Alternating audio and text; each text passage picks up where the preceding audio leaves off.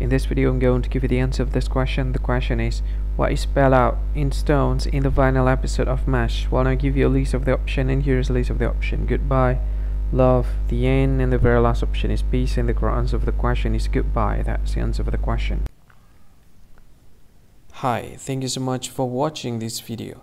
If you find this video is very useful, you can help this channel to grow by subscribing this channel. Please this subscribe button and don't forget to like this video. And if you find this video is not really good or you don't really like this video or you kind of feel that it's a little bit offensive or something like that, you can click this one, dislike button. You can do that anyway. And if you want to share this video with your friend, you can share it by clicking this share button and you can share it to any any social media that you wish that is currently available at this time like Facebook, Twitter, LinkedIn, and many others. Right?